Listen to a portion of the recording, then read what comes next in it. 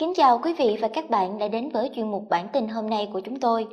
Hy vọng quý vị sẽ cập nhật được cho mình những thông tin hữu ích nhất. Đừng quên nhấn like để ủng hộ cho chúng tôi và nhấn đăng ký kênh để không bỏ sót bất kỳ thông tin nào trong ngày quý vị nha. Sau đây là những nội dung chi tiết của bản tin ngày hôm nay. Mời quý vị và các bạn cùng lắng nghe. Sau nhập ngũ, Hậu Hoàng sợ hãi vì không biết bơi, mũi trưởng Long liền nói một câu trấn an khiến fan cũng phải quán quéo. Tiếp tục một màn đẩy thuyền cặp đôi Hậu Hoàng và mũi trưởng Long sẽ xuất hiện trong tập 10 sau nhập ngũ. Đoạn trailer tập 10 sau nhập ngũ hé lộ tối ngày 5 tháng 2, tiếp tục mang tới những diễn biến mới của kỳ huấn luyện nơi thao trường.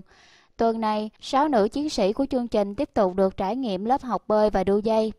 Mở đầu đoạn trailer, mũi trưởng Long đã hỏi ngay Hậu Hoàng có biết bơi hay không. Cô nàng liền cho biết, tôi không biết bơi, tôi sợ. Tôi nhìn thấy hồ bơi này sâu 1m8 là qua khỏi đầu tôi rồi. Đến lượt kỳ duyên, nàng hậu liền hỏi khó mũi trưởng Long. Tôi có câu hỏi là bình thường bể bơi có màu xanh nhạt, nhưng bể bơi này có màu nước lèo thì tôi không biết đây có phải là màu đặc trưng của lữ đoàn ta hay không.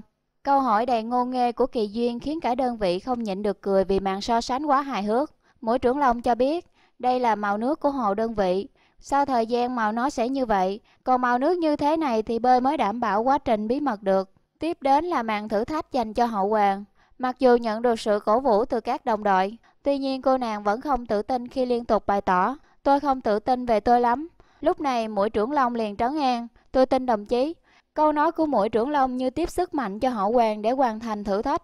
Còn khán giả vốn đang đẩy thuyền cặp đôi thì không khỏi phấn khích trước màn tương tác quá hấp dẫn của cặp đôi.